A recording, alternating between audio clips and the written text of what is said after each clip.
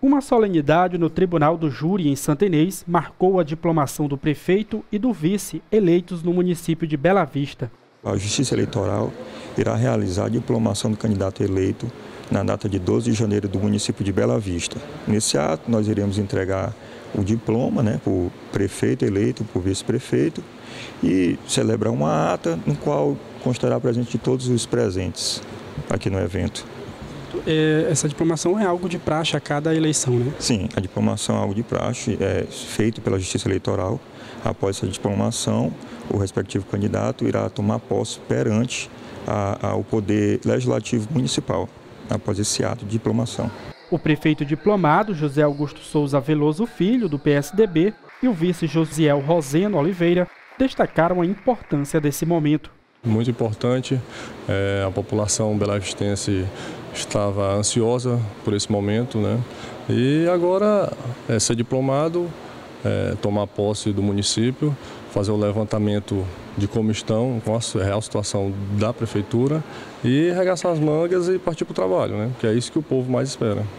O resultado da eleição surpreendeu você? Um pouco.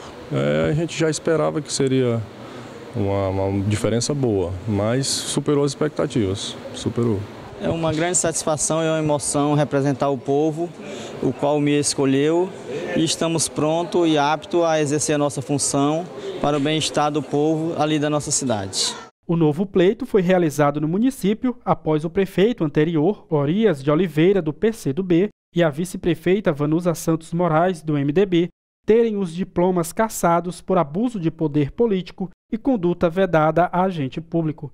A eleição suplementar foi realizada no dia 12 de janeiro.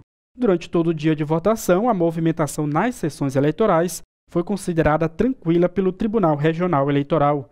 O prefeito eleito foi José Augusto Souza Veloso Filho, do PSDB, e o vice-prefeito Josiel Roseno Oliveira, com 3.639 votos. Em segundo lugar ficou Daniel da Conceição Silva, do PSB, com 2.957 votos. Em terceiro lugar, com 185 votos, ficou o candidato Geilton da Silva Coelho, do PSD. No ato de diplomação, Augusto Filho disse que o resultado superou as expectativas e destacou as prioridades a partir de agora. Várias casas estão sem água hoje em Bela Vista. É, estradas com difícil acesso, a saúde, o hospital não funciona como deveria funcionar. Então, não tem uma área certa. A gente vai ter que trabalhar em todas as áreas que estão críticas. Né? E não podemos perder tempo. Temos que diplomar, tomar posse e já partir para o trabalho, que é isso que o povo está esperando.